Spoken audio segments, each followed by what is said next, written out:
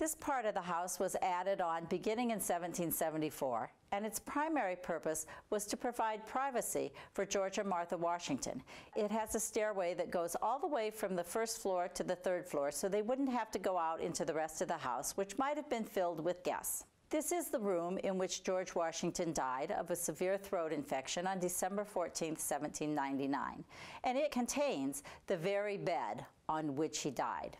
That bed has always been one of the mansion's most treasured relics, and we know that Martha Washington said in her will that she, quote, caused it to be made in Philadelphia. So we think she had a special role in this particular piece of furniture. People often comment that it seems small for such a tall man as George Washington was at six foot two. But in fact, the dimensions of the bed are quite close to those of a king-sized bed today. We think of this as George and Martha Washington's room, but they always referred to it as Mrs. Washington's chamber. It was her space.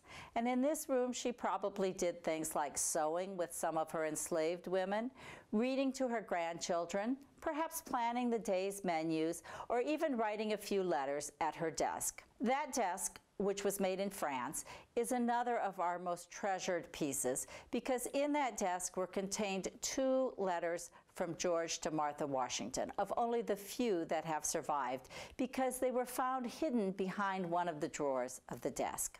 Another feature of the room is its two very large walk-in closets, very unusual for an 18th century chamber. But Martha Washington was a very wealthy woman, and she brought to Mount Vernon a real treasure trove of textiles, bed hangings, linens, table covers, and she kept those under lock and key here in her chamber where she could keep a close eye on them.